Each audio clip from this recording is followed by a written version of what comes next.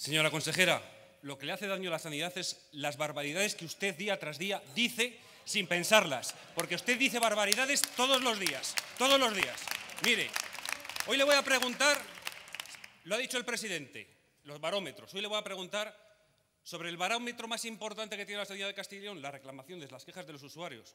A ver si usted, ya hemos visto que el presidente Mañuco es incapaz, a ver si usted es capaz de poner encima medidas para corregir esas quejas y esas reclamaciones. Usted sabrá que en el 2018 subieron esas quejas un 10%, hasta 24.883. ¿Sabe de qué son esas quejas?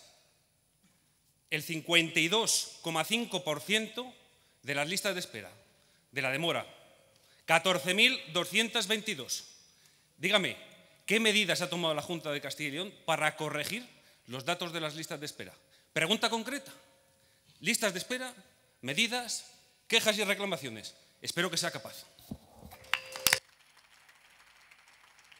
Muchas gracias. Para contestar tiene la palabra la señora consejera, eh, la señora Casado Vicente. Si quisieran el pacto por la sanidad se hubieran enterado. Pero como no quieren pacto por la sanidad, pues no se enteran. Pero tenemos muchas medidas en los tenemos muchas medidas y en ese pacto por la sanidad había 10 eh, grandes puntos. Y en uno de ellos contestaba la pregunta que usted me plantea. Muy bien.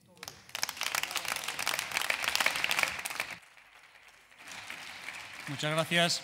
Para un turno de réplica tiene la palabra el señor Hernández Martínez. Bueno, perdone que este humilde procurador no se entere de ese pacto por la sanidad, de esas medidas. Pero lo que me parece más grave es que usted, señora consejera, no se entere de que cuando va a Soria le digan los profesionales que es el mejor hospital de España y resulta que los, los usuarios lo han valorado como el segundo peor de la comunidad en, las, en el informe de valoración del año 2018. ¿No se lo ha leído? Pues lo tiene colgado en la página web del SACIL.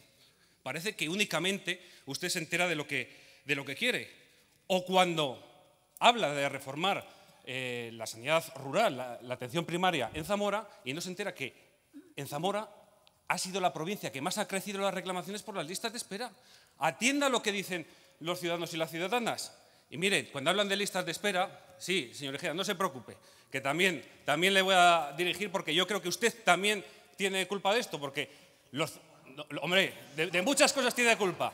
Mire, aquí los pacientes no afloran como si fueran hongos o setas en el monte, ahora que estamos en época micológica. Aquí los pacientes están. Y ahora mismo tenemos en Castilla y León 246.070 pacientes esperando una consulta, una operación o una prueba diagnóstica. Un 10% de la población con tarjeta sanitaria. Es decir, uno de cada diez está esperando a recibir la primera prueba, la primera consulta en el sistema público de salud. La situación es demasiado grave. Y escuchándoles a ustedes, por un lado, la prepotencia del señor Igea, por otro lado, la chulería suya y por otro lado, el pasotismo del señor presidente, lo que están convirtiendo es a la España vaciada en la España vacilada, la España chuleada por ustedes, por el Partido Popular y por Ciudadanos. Porque miren, miren, no se puede, no se puede venir y decir que queremos más financiación de la sanidad cuando están recortando 180 millones a los ciudadanos más ricos de Castilla y León. Es una auténtica vergüenza. Es una auténtica vergüenza. Tiene la segunda oportunidad dos minutos, 38 segundos, voy a apuntar cada una de las propuestas que me diga. A ver si es capaz o también es incapaz de poner en este Parlamento las medidas que usted lleva en el pacto. Dígalas públicamente, en este Parlamento, en la sede de la soberanía del pueblo de Castilla y León. O igual no es, capaz de gestionar, ya termino, o es incapaz también de gestionar la sanidad pública de Castilla y León. Gracias.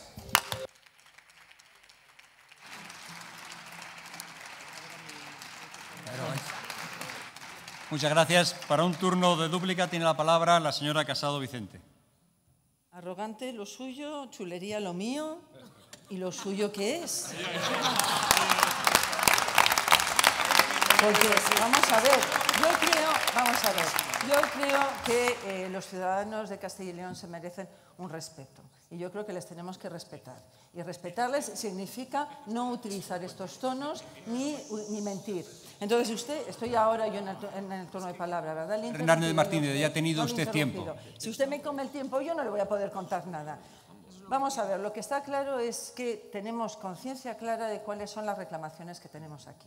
Lo sabemos, pero además de eso, no solamente hemos analizado las reclamaciones, sino nos hemos ido a cada una de las, de las provincias. Y en Soria, perdón, pero una de, sus, una de sus esos gestos como que sobran. Eh, mire, no le voy a mirar porque me parece que no... Señorías, por favor, silencio. Vamos a ver, eh, lo que está claro es que cuando yo fui a Soria todos nuestros profesionales necesitan autoestima, no necesitan que estemos siempre machacándoles.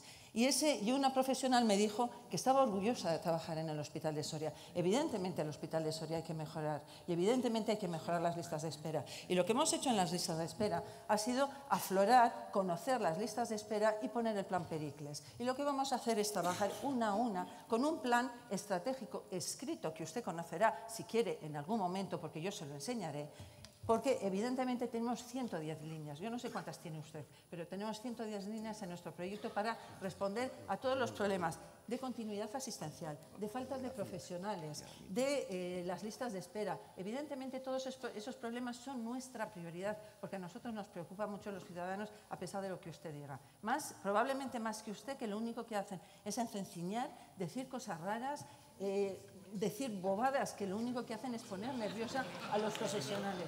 Lo único que hace poner nervioso es a los profesionales y a los. Muchas gracias.